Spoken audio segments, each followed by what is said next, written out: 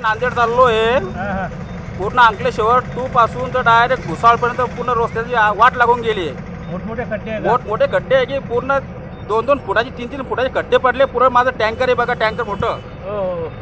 एवढं हालत खराब की पाटे तुटता नुकसान वाटते बॉटले पैसे घेतल्या जातात. दुनियाभरचा भ्रष्टाचार आहे महाराष्ट्रामध्ये. बरोबर. मी स्वतः मरा मराठी माणूस आहे जळगाव जिल्ह्याचा. बरोबर. एवढ्याले खड्डे पडले की विचारता सोयी नाही.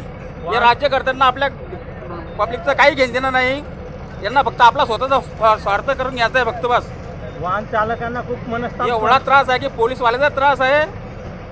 आणि या रोडचा तर विचारच नका. खूप खड्डे आहे मोठमोठे? एवढ्याले खड्डे आहे साहेब की मुख्यमंत्री साहेबांना सांगायची विनंती करून की तुम्ही एकदा इथून अक्कल अक्कल कुवा ते भुसाळपर्यंत येऊन बघा.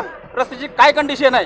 बरोबर. तुमची गाडी जर पूर्ण टापोटाप जर गेली तर तुम्ही म्हणसाल ते शिरत राहाल त्या एवढ्या रस्त्याची खराब कंडिशन आहे.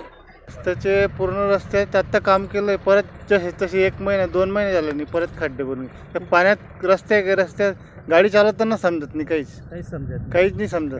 खूप खड्डे आहेत खूप खड्डे आहेत मोठमोठे खड्डे बा आहेत. जिथं जिथं काम केलंय आता चालू तिथं बी तसं तसं काम झालं ते तिथंच गाडी आमची गाडी स्लिप होऊन जाणार होती. आता मागे पाऊस पडला तेव्हा ते त्याला लागून नालीला लागून त्याच्या जवळच्या जवळ म्हणजे खूप ते पाण्यामध्ये समजत नाही की गड्डा कुठे आहे, काय आहे. समोरच्या गाडी मोठ्या गाडीच्या जवळ माणूस पोचून जातो तोपर्यंत समजत तिथं गड्डा कुठे पाणी कुठे काय समजत त्रास सहन करावा लागतोय. ऍक्सिडेंटही होत असेल. ॲक्सिडेंट होतात ना.